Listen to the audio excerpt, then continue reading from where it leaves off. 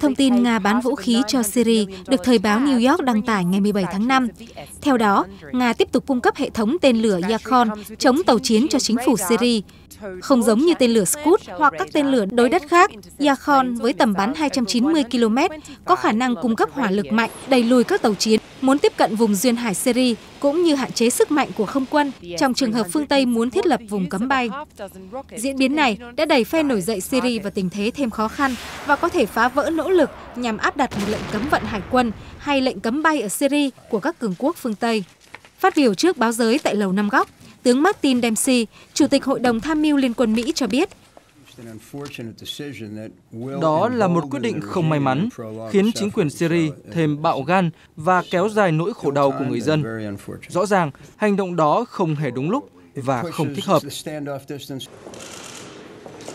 Trước đó, Mỹ và các đồng minh đã nỗ lực không ngừng để Nga dừng cung cấp vũ khí cho chính quyền Tổng thống Assad.